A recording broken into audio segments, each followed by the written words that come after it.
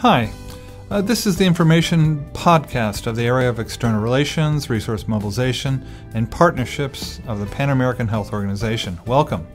A delegation from the External Relations, Resource Mobilization, and Partnerships area visited a number of organizations and institutions of the European Union with the object of enhancing the presence of the, Man- the Pan American Health Organization in both the European Commission and European Parliament. The group arrived with the mission of promoting the health agenda for the Americas and providing information about the successes achieved and the challenges still pending. One of the organizations visited was the Agency for French Development, which currently has a presence in 14 countries. In our region, it provides donations to Colombia, Mexico, and Haiti, where it works on climate change and coordination with commercial banks in their principal areas of action.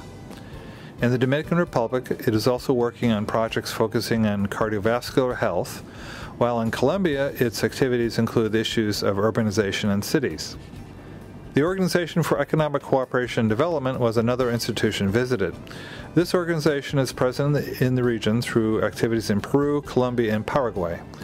For this agency, health is one of the priority sectors for monitoring.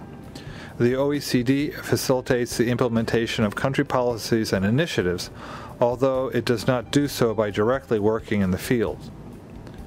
Another agency, the EU Directorate General for Health and Consumers, SANCO, expressed interest in collaborating with PAHO in tobacco control initiatives. This agency is waging a campaign in Europe using images and slogans that have already been adapted by the United Kingdom, Romania, Latvia, and Belgium. The trip included a visit to the European Parliament as a matter of protocol. Nevertheless, it produced conversations on the growing importance of triangular cooperation and particularly Brazil's role in it.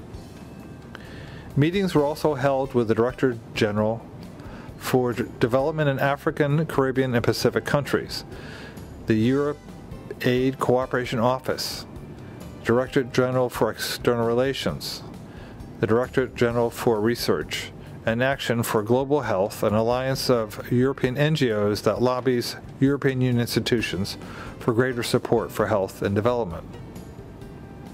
The Pan American Health Organization signed technical cooperation agreement with Colgate Palmolive.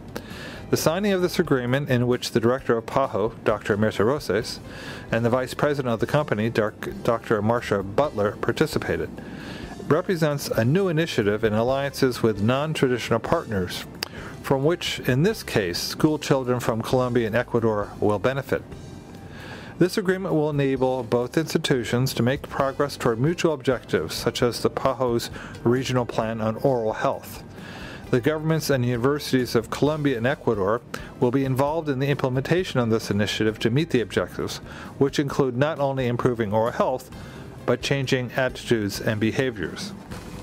If you wish to contact us, please send a message to us at erp at paho.org. Until next time.